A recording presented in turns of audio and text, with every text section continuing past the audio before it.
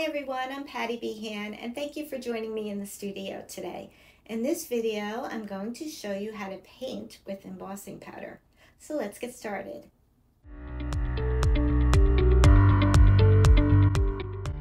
All right, for this technique, you're gonna need a few colors of embossing powder, an embossing ink pad, a stamp, and a heat tool. And to begin, I'm going to ink up our stamp and I'm using a background stamp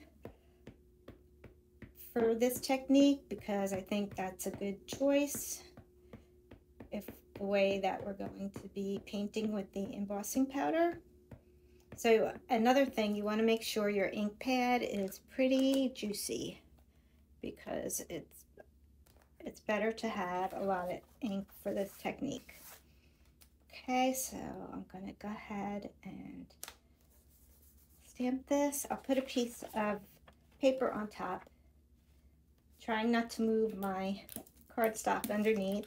And I'm just going to use a brayer to make sure I ink up the background really well. I want to make sure I get the edges and in the middle. And then once that's done, pick it up.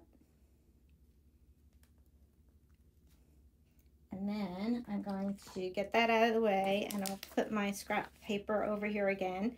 And I'm using sage, marigold, and cranberry.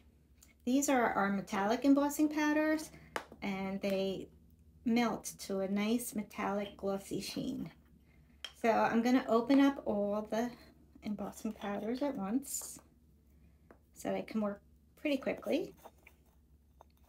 And then what I'm going to do is randomly sprinkle all the colors of embossing powder throughout the background. Now this stamp was pretty open, so you want to try to get where the ink is so you don't waste as much embossing powder. So I'll do my one color, do the next.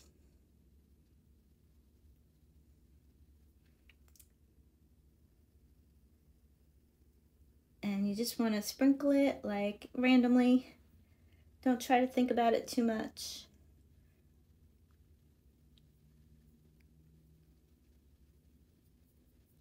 Okay, and then we'll go for the next color.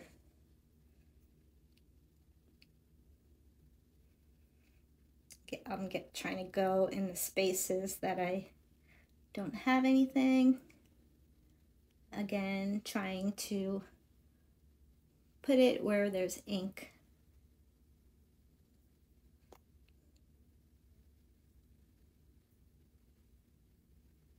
Okay. Now, once I think I'm satisfied with what I have here, the next step is pretty important. What you do is you're going to tap the back of the card so that the embossing powder will stick where it landed in the first place. And then, so you'll get a more concentrated area of color to begin with.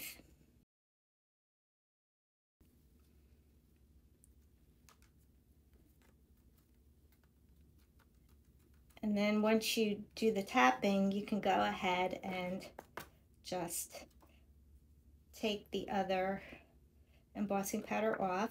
And over here I didn't get so well, so let me see if I can go back and just put a little bit more powder over there.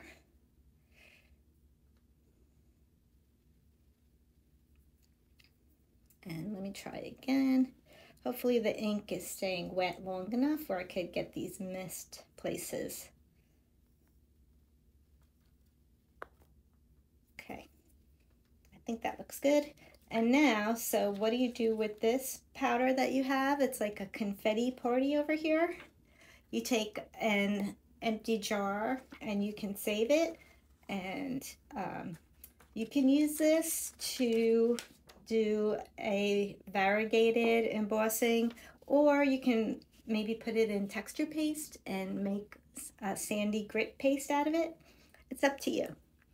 Okay, so now let me get these out of the way and then we're going to heat emboss this and show you how it turns out.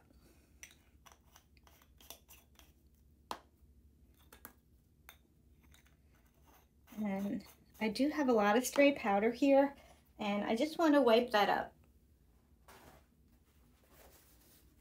before I melt mm-hmm. it.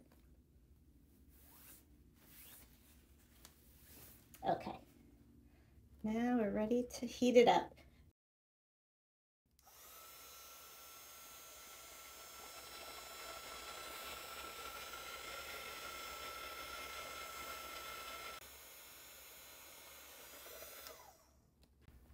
Okay, so let me bring this closer so you can see the metallic sheen. See how that is shiny like that? So beautiful. Okay, now we can put this together. Um, so I've already like prepared my pieces. I'm making a top folding card and I'm going to glue this down.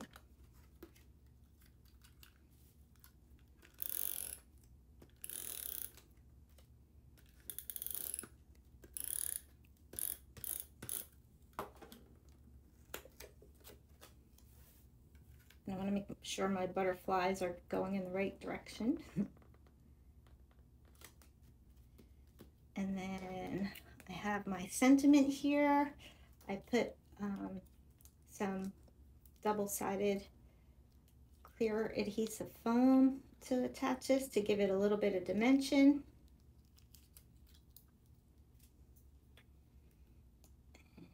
Let's see. I'll put it right here. That looks good. Okay, and as you can see, I did the same painting with embossing powder on my butterfly card here, and then you have your beautiful finish card. And let me show you some more examples using some different embossing powders. We did this here with our tinsel embossing powders. Love the sparkle and shine on that one.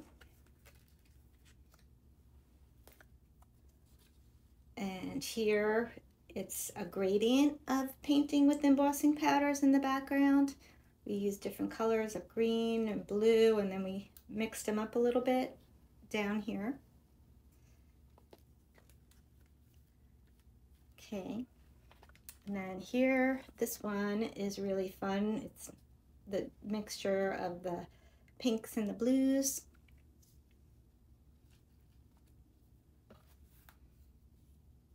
Here. This one is a little more subtle.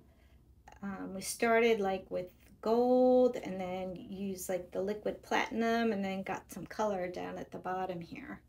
I'll bring it up so that you could see it. And then here we have some purple and blues. These are using some of the metallic again and we just use part of this. So you can get a two for one if you make a whole background of that. So we hope you'll give this technique a try. And for more embossing powder techniques please subscribe to our channel. And thanks for watching. We'll see you next time